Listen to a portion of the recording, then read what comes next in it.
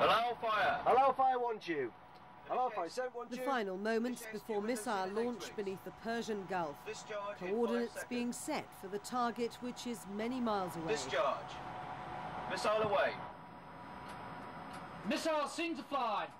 The exact position of HMS Splendid is strictly classified, as is its target. This is the first time since the beginning of the Iraq War that TV cameras have been allowed onto US or British submarines. The 120 men on board often find themselves submerged for weeks. It's claimed that every cruise missile launched from HMS Splendid since the start of the war has found its target.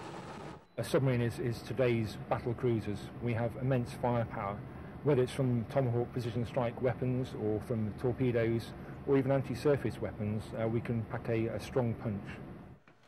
The living conditions are cramped in the submarine's hull, and engine room temperatures regularly hover around 40 degrees centigrade.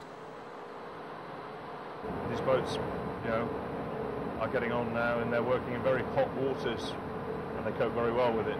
But the atmosphere, we feel it. Stand by, urgent attack, track 255. As coalition Weapons strikes ready. intensify Fire! around Fire! Baghdad, the crew of HMS Splendid know there is One, two, much work and four ahead. tube bar caps are open. Roger, bound caps.